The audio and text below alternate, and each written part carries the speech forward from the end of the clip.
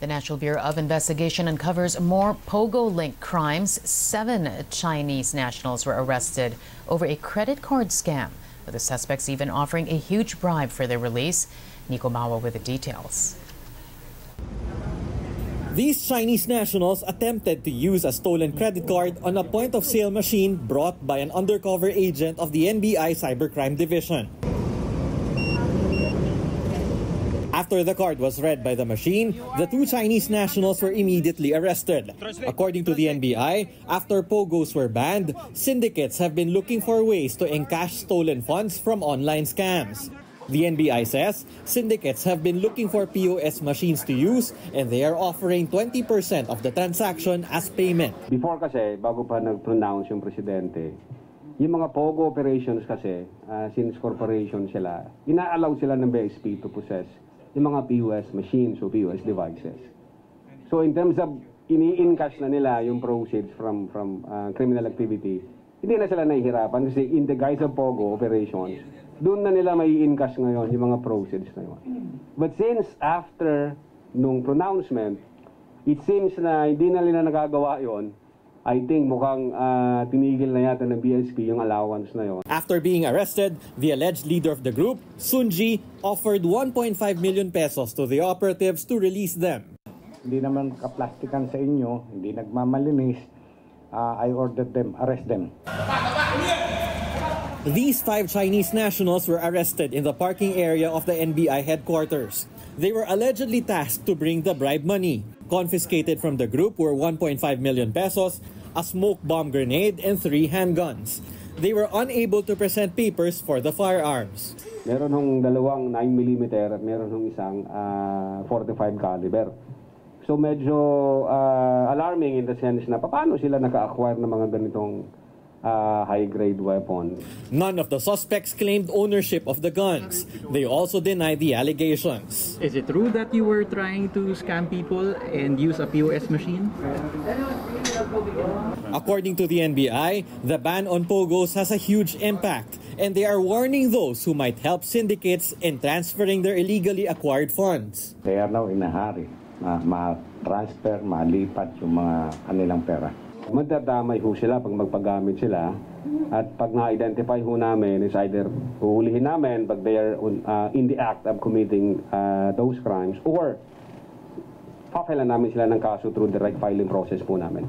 The suspects have been charged for violating the Access Devices Regulation Act, Comprehensive Firearm and Ammunition Act, and corruption of public officials. Nico Bawa, ABS-CBN News.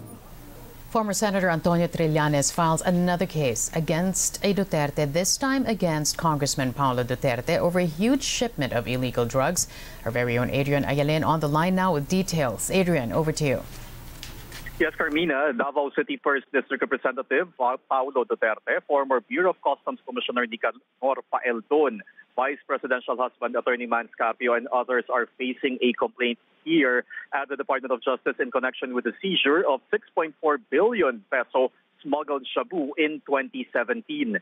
In the complaint affidavit filed by former Senator Antonio Trillanes, the three respondents, including Nilo Abellera Jr., Pompey Perez, Allen Capuyan, Charlie Tan, Teofilo Joseph Bacud, Neil Anthony Estrella, Nani Cabato Coronacion, also known as Tita Nani, committed conspiracy in the smuggling of 600 kilos of shabu Trillanes based his complaint on the committee report of the Senate Blue Ribbon Committee, which conducted hearings on the incident.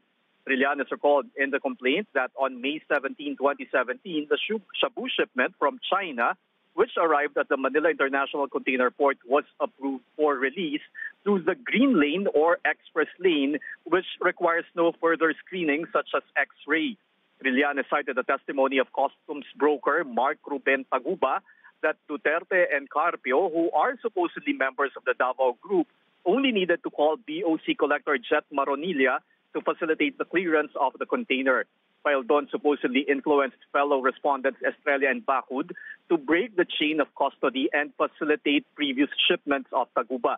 Trillanes urged the DOJ to initiate a preliminary investigation and the subsequent filing of charges of violation of Republic Act number 9165 or the Comprehensive Dangerous Drugs Act of 2002 against all respondents. Also, Carmina for Duterte, Carpio Abellera, Capuyan, Estrella, Bacud, and Faeldon, Trillanes said they should also be charged with, with violation of Republic Act number 3019 or the Anti-Graft and Corrupt Practices Act.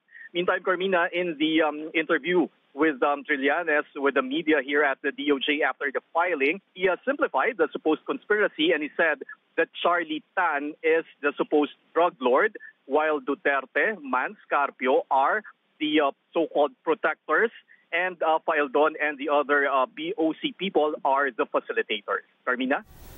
Right. Did the senator, uh, the former senator Adrian, make any mention as to why only now? I mean, we remember that hearing, right? We it was in the news cycles for days on end. But why the filing of charges only now, Adrian? Yes, um, it was also asked by the media um, in his um, ambush interview, and uh, said that um, it is actually um, uh, more than seven years after after the um, 2017 um, incident.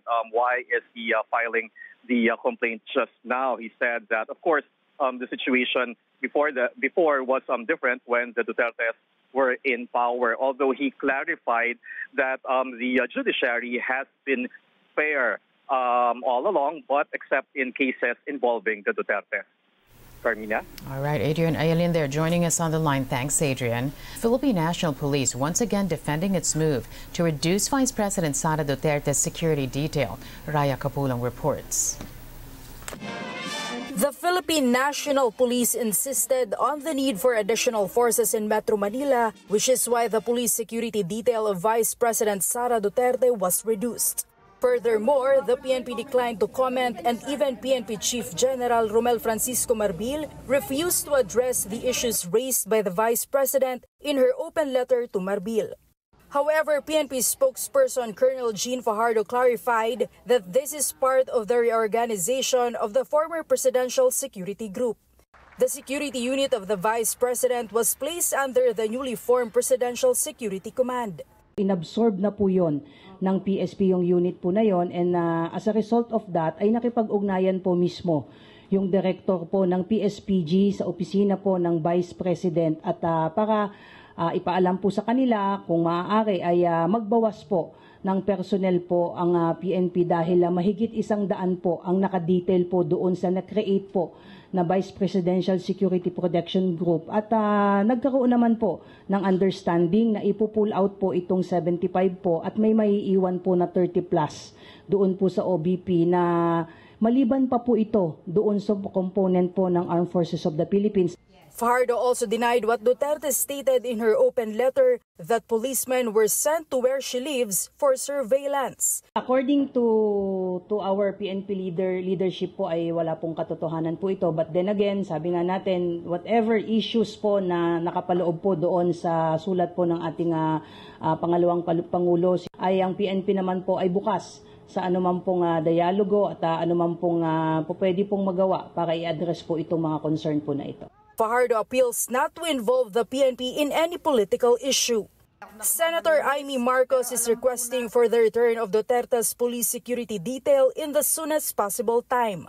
She emphasized that the security of Duterte cannot be compromised, given her position as the second highest elected official and allegedly as a target of the CPP-NPA.